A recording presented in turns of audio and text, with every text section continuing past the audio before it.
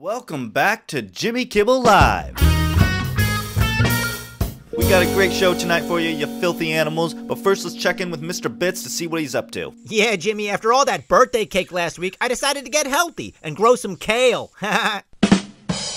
Didn't know you were such a green paw there, Bits. Well, moving on, we got a wonderful guest for you today. It's the one and only Martha Stukat.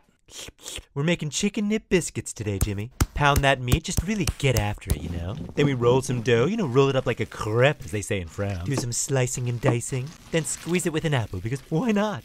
Add some chives and catnip concentrate and fish oil. Just mash it all up and plop it in, Jimmy.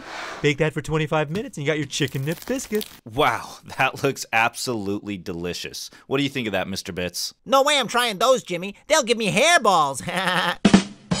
We're gonna kick it over to Benny and the Pets take us out.